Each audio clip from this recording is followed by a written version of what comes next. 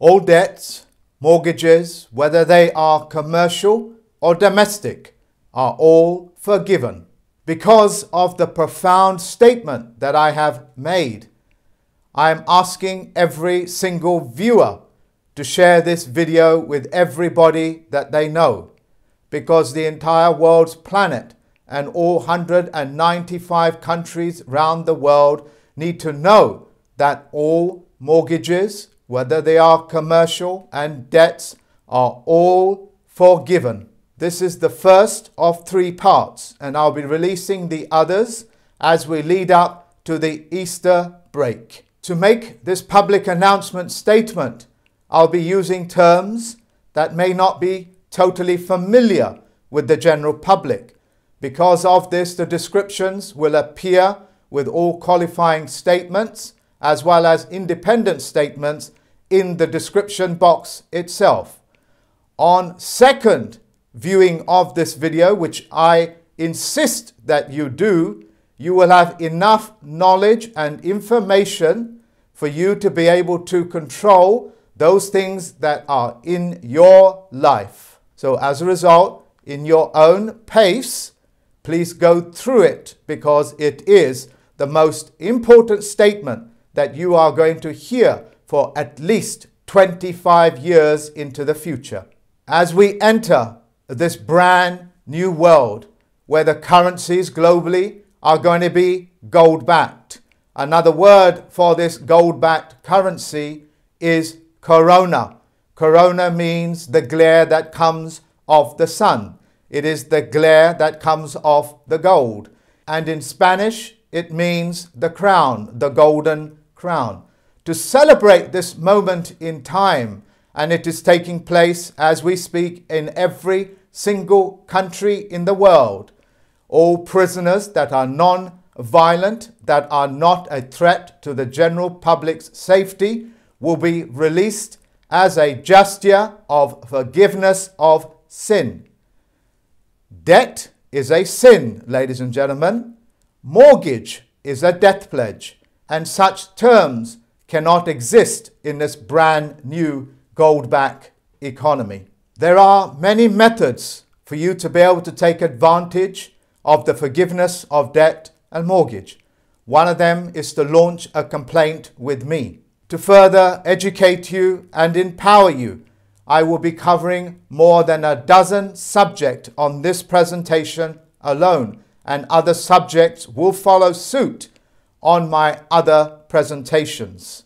When you hear words like SARS, when you hear words like swine flu or avian flu, or in this particular stage, in this most remarkable point in history, words like corona, they are referring in banking codes to the forgiveness of debt.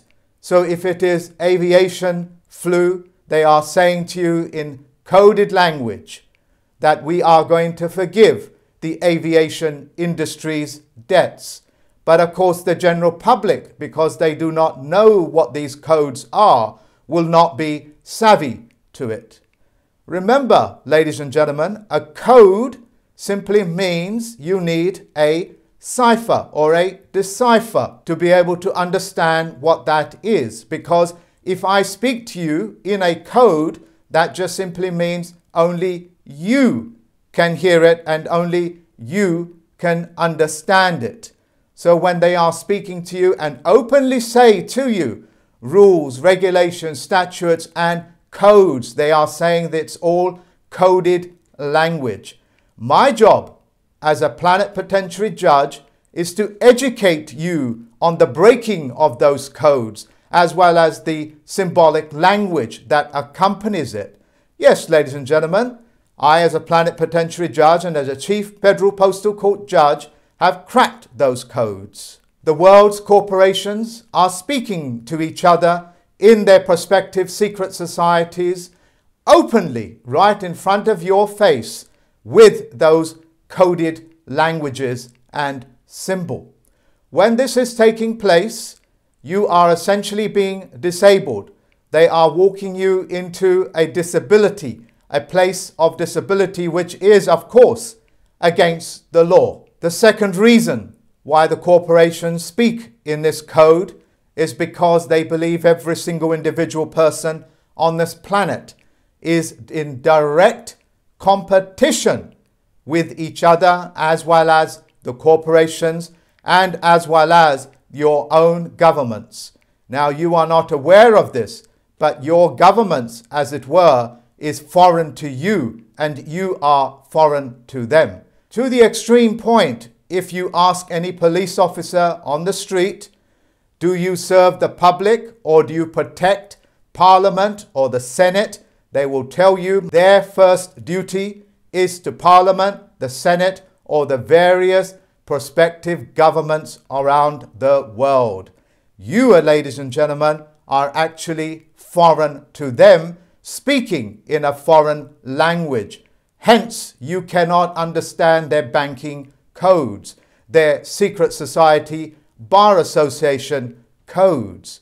And it is my job once again to make sure that every human being is actually on a geometric level playing field so they can openly participate in this golden age, in this golden corona backed currency. For the last one month, the corporations, the stock market, and the various companies that have floated their stocks on the stock markets all over the world are approaching the federal banks all over the world. Yes, ladies and gentlemen, the federal bank, the bank that prints fiat currency, which means empty promissory notes, has been approaching the Federal Reserve banks around the world and asking them to buy the shares in the marketplace, which are now collapsing before their eyes.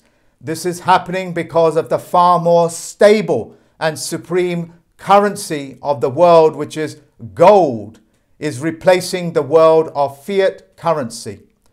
Your world, ladies and gentlemen, is divided in two parts. One that is known as the shadow world, albeit the fiction world with the fiction currency with their fiction corporations and their fiction courts. And then you have the world of facts. Gold is a fact. The Federal Postal Court courts are a fact because the Federal Reserve banks are purchasing these stocks at untold prices. Trillions of dollars have now been reprinted into the economy. Because of this, your currencies, the fiat currencies, as well as the stock market and the prices of it, is going to collapse. It is imminent. It is all actually happening right before your eyes. The pension funds, ladies and gentlemen, and that is very important because the pension funds are real sweat equity. That in itself is not fiat currency.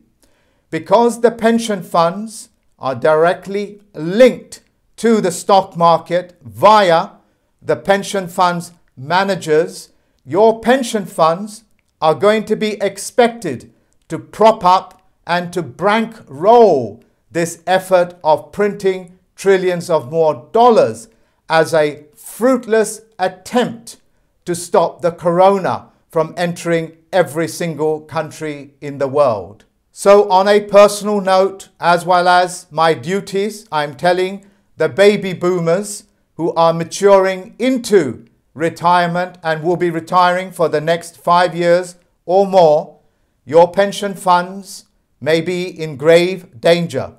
It is up to you now to control your own pensions. It is up to you to tell the pension funds managers what to do these things are called instructions. Without instructions, they will continue to do whatever they think they want to do because they believe that you are incompetent to be able to deal with your own pensions.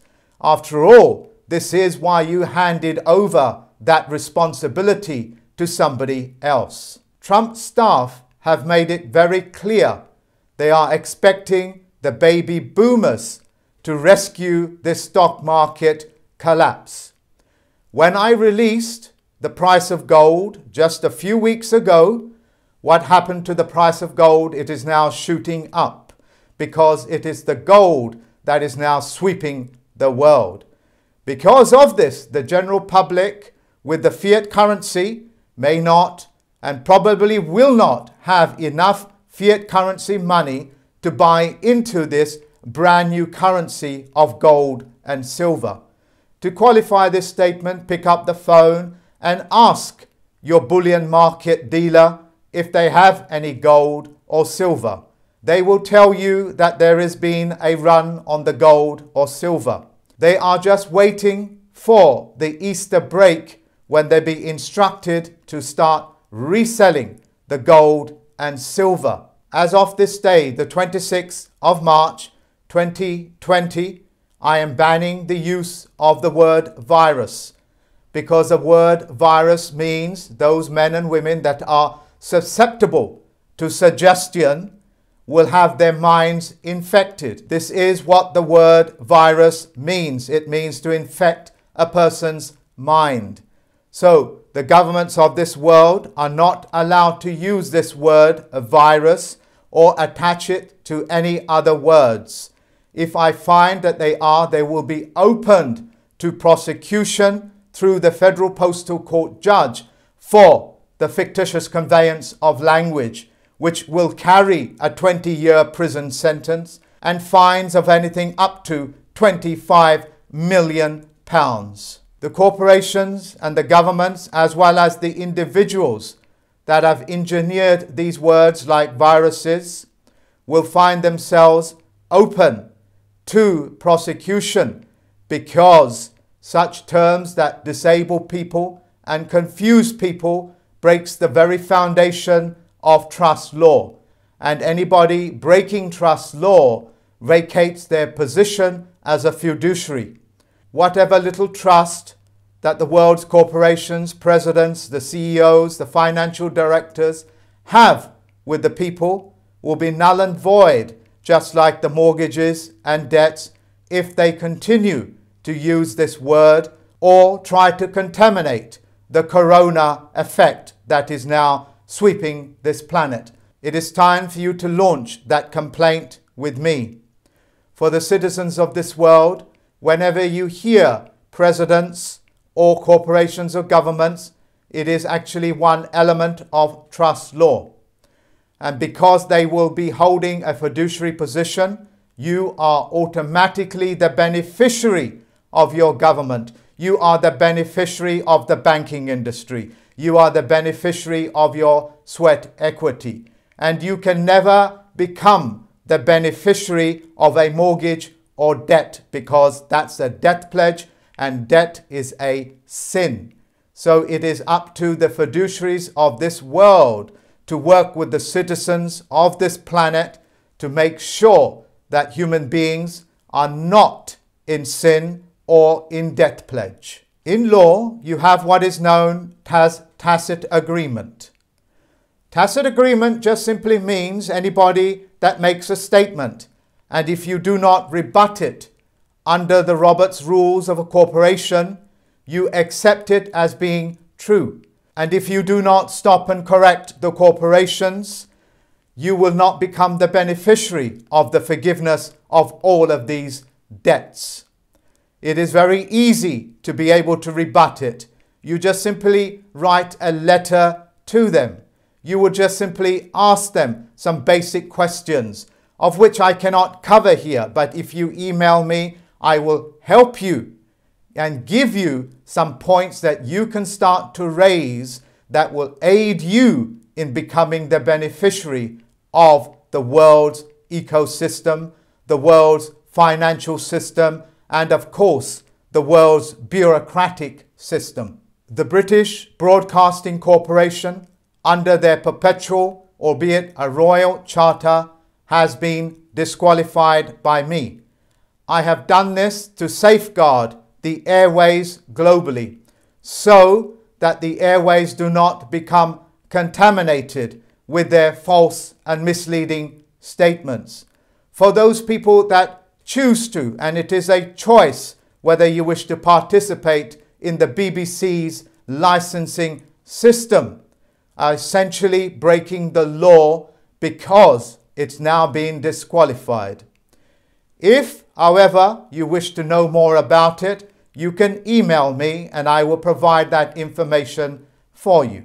For every man and woman that is going to cross over this brand new world from the world of fiction into the world of facts will not be able to keep those subhuman feelings and conditions in mind. They cannot make this journey because in the world of facts, telling lies, making false statements, making false accusations are all nothing more than the shadow world.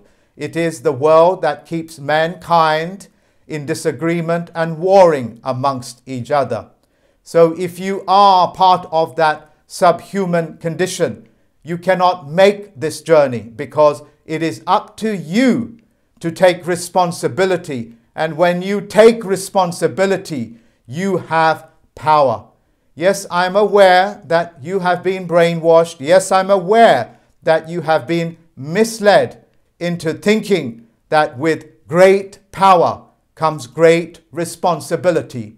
Nobody gets any power without taking responsibility. For those people that are in some sort of a fiduciary position, if you have these subhuman traits, which is commonly known as psychopathy or narcissism, which is a mechanism that psychopaths use. And yes, I know these may be strong words to you, but I have given you all the qualifying statements and all the proof that you need in the description box. Those people that have these subhuman traits, which are commonly linked to the seven deadly sins. I'm aware that the general public will be ignorant about the seven deadly sins, which is what most of these subspecies practice. Because in the world of facts, such conduct can never exist. Because in the world of facts, we cannot have shadow games being played. We cannot have lies being perpetrated. This will be nothing more than a step back in man's evolution. To my teacher, to my mentor and my friend, David Wynn Miller, I wish to thank you. And on behalf of the citizens of this world, I wish to thank you for ushering in this brand new economy, this brand new gold back economy. My fondest hope is that you will share this video and that every single person on this planet will hear about what is happening. In doing so, ladies and gentlemen, you have given yourself the power to be able to spread the good news. In doing so, you have aided your fellow human being, part of a social contract. Insofar as that you are performing your social contract, you will find that the Army, the Navy, the Air Force will honor you and will protect you and your rights. It is my fondest wish that every single citizen of this planet becomes the beneficiary of the multitude of trusts that are out there, like the Jesus' trust, like the Mohammedans' trust, and there is so many of them that the list will go on and on. All of this, ladies and gentlemen, to unlock, all you have to do is be honor bound and duty bound and perform those social contracts on a global scale. The easiest way to do this is to share this video and the descriptions that accompany it. Until next time, ladies and gentlemen, look after yourself. If you are worried about your health, then of course take all the necessary steps that you need to to keep yourself healthy in mind and in physical body. Bye bye for now, ladies and gentlemen.